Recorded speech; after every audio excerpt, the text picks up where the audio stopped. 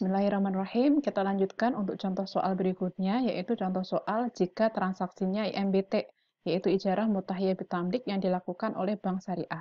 Misalnya kita uh, contoh soal ngambil dari yang video sebelumnya ya, yang empat sebelumnya yaitu masih PT Namira sebagai nasabahnya perbankan, yang mana PT Namira ini dia sekarang mengajukan uh, ijarahnya itu berupa ijarah mutahiyah bitamlik.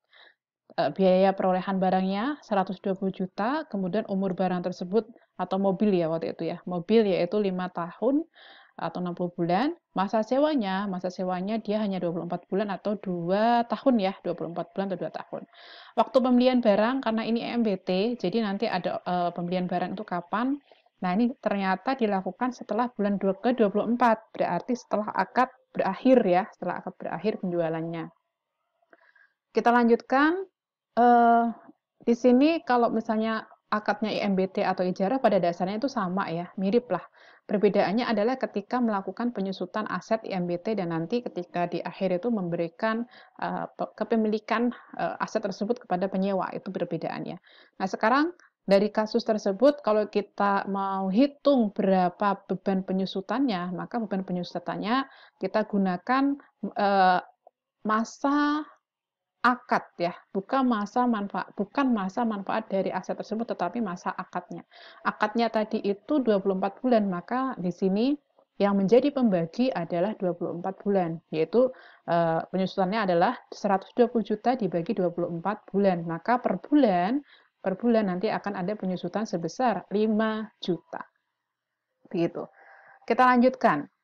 Ya, Selanjutnya, dengan kebijakan keuntungan sewa sebesar 20% dari modal barang yang disewakan, maka pendapatan IMBT per bulan itu adalah sebagai berikut. Ini hitung-hitungannya ya. Per, eh, per bulan dia dapat berapa? Kalau misalnya per bulan itu modal penyewaannya atau uh, cicilannya 5, 5 katakanlah katakanlah 5 juta, kemudian ujrohnya itu 20%, maka 20% dari 5 juta. Sehingga ujrohnya tiap bulan itu ada 1 juta. Nah, cicilannya berarti nanti yang diberikan oleh nasabah yaitu sebesar 6 juta.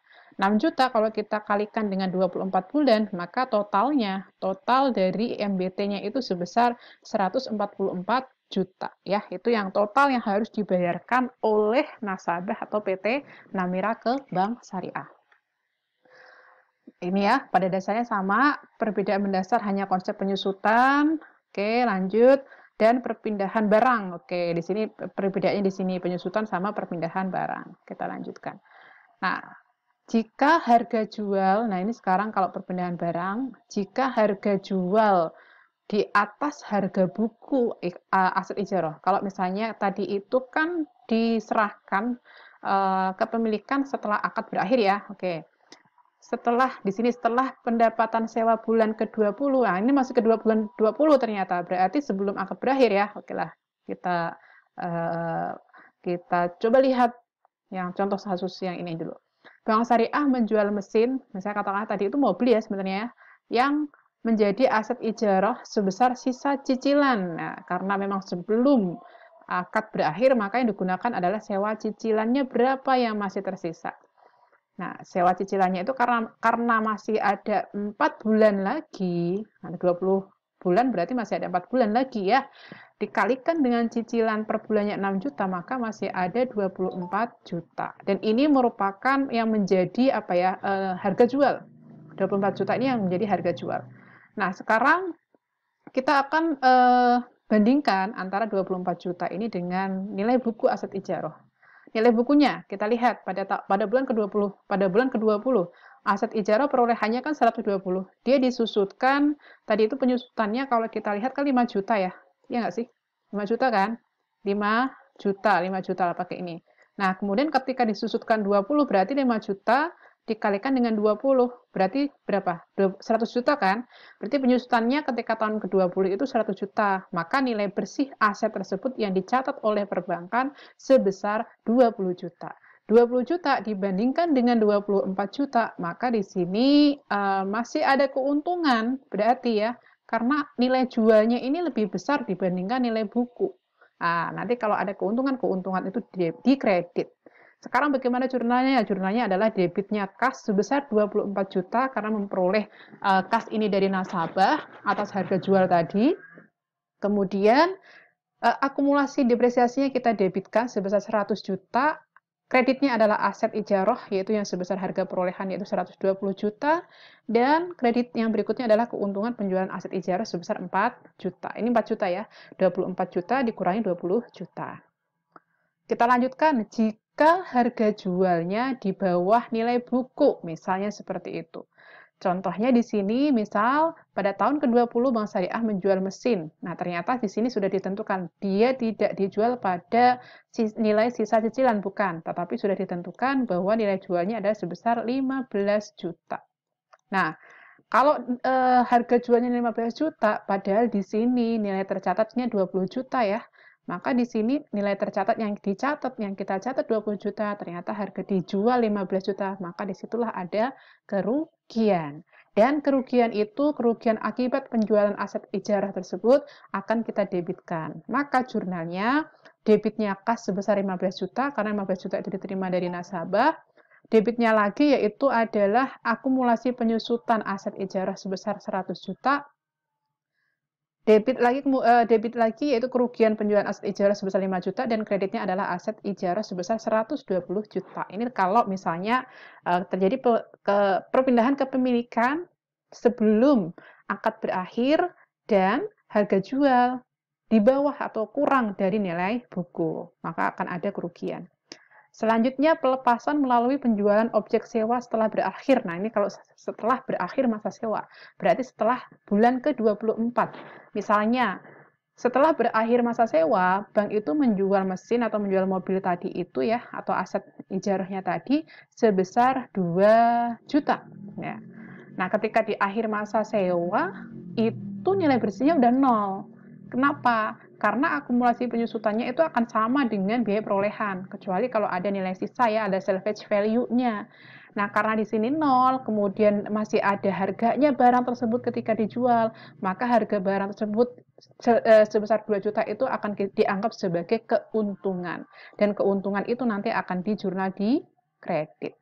Maka jurnalnya adalah debitnya kas sebesar 2 juta, karena ini yang diterima dari nasabah, Debitnya lagi ada akumulasi penyusutan aset ijarah sebesar 120 juta, kreditnya eh, aset ijarah senilai perolehan tadi ini sebesar 120 juta, dan kredit keuntungan penjualan aset ijarah sebesar 2 juta. Seperti itu ya, kalau terjadi penjualan aset ijarah setelah akad berakhir gitu. Selanjutnya ini kalau eh, ada teknis perhitungan teknis perhitungan dan penjurnalan transaksi ijarah untuk multi jasa ini kalau ada multi jasa ya.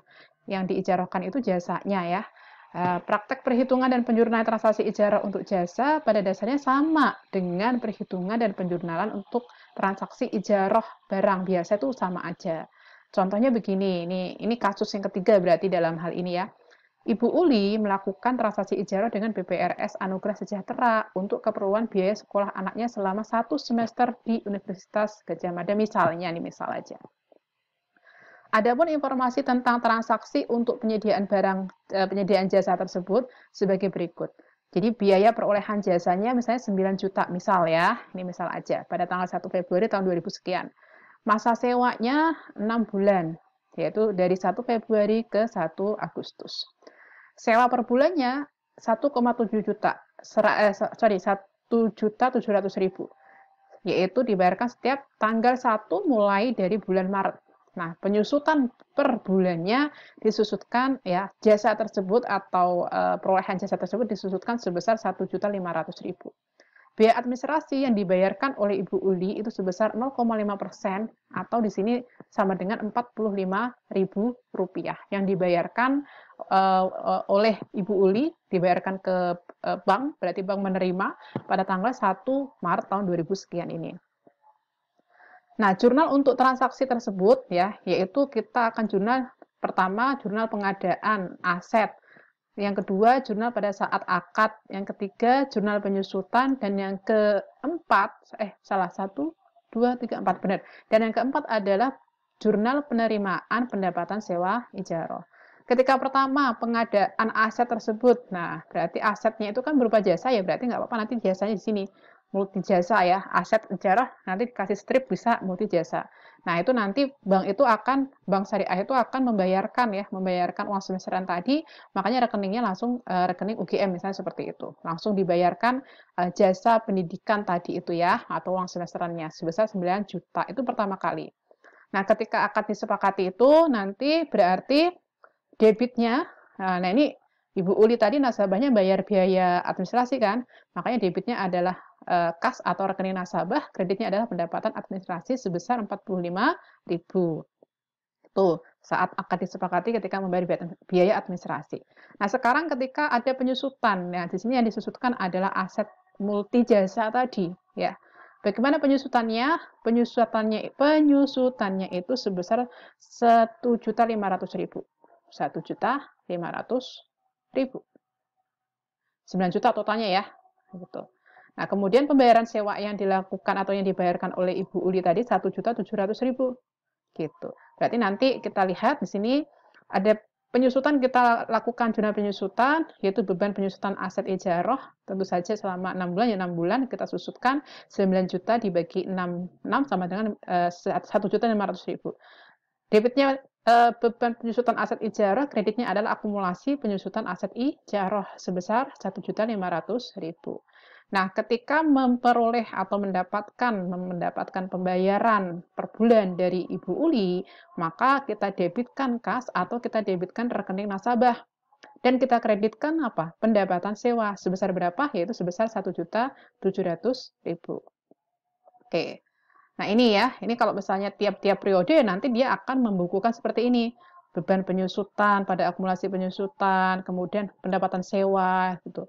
Nah, sebenarnya kalau dari sini ya, dari sini aja nih, dari sini per bulan itu kelihatan bahwa bank itu nanti akan memperoleh pendapatan netnya berapa, yaitu pendapatan sewa dikurangi dengan beban penyusutan. Jadi netnya per bulan itu ada 200 ribu ya, bank akan mendapatkan. Itu saja ya uh, untuk transaksi atau akuntansi transaksi Ijaro ini, dan ini adalah referensinya dari PSAK 107, kemudian dari modul ujian sertifikasi IAI juga ada fatwa-fatwa DSN, bukunya Pak Wiroso, akuntansi transaksi syariah, kemudian ini barusan contoh-contoh soal itu diambilkan dari bukunya Pak Rizal Yaya ya, dan ada dari bukunya Bu Nur Hayati dan Bu Wasilah. Nah, demikian, eh, semoga bermanfaat video pembelajaran ini. Kita akan ketemu di video pembelajaran yang lain. Uh, terima kasih, thank you, jazakillah, jazakumullah khairan jaza. Wassalamualaikum warahmatullahi wabarakatuh.